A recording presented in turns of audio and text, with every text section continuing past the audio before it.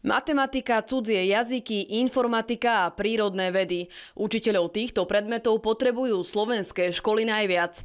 V lete uverejnili viac ako 2000 pracovných ponúk. Väčšina bola na učiteľské pozície.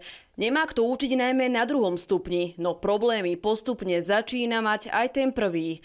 Najhoršie čísla hlási západné Slovensko. Kým v Lani platilo, že na jednu pracovnú pedagogickú ponuku zareagovalo v priemere 9 e, ľudí, aktuálne je to iba 6 uchádzačov. Priemerný plat učiteľa na základnej škole je 1200 eur v hrubom. Rast učiteľských platov sa podľa Slovenskej komory učiteľov zastavil.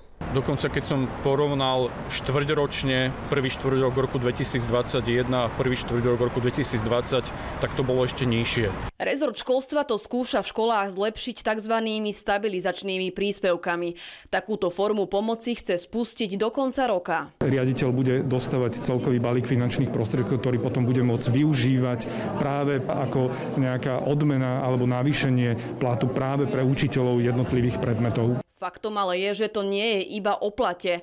Mirka doštudovala učiteľstvo tento rok a začala učiť. Veľmi náročná je tá byrokracia, ktorá nás prevádza aj hlavne teraz počas toho koronového obdobia. Tej byrokracie je tak strašne veľa, že ja niekedy ani nestíham ako keby vnímať, čo ešte všetko mám odovzdať. Školy by uvítali aj viac peňazí na vybavenie a pomôcky pre žiakov. Pandémia podľa prieskumov znechutila učiteľov ešte viac, no a odrádza ich aj kolektív a prostredie. Teraz sa nám vlastne ukazuje e, počas tohto roka, že dokonca viac ľudí zareaguje aj na miesto upratovača, upratovačky. Na jednu pracovnú ponuku zareaguje teda 14 ľudí. Nie každý je možno tak nastavený, že to berie ako, to je také klíše, že ako poslanie. Napriek všetkým prekažkám by som túto profesiu teda veľmi nerada opúšťala. V školách sa nepýtajú iba to, kto bude učiť, ale otázkou je i to, kto ich bude riadiť.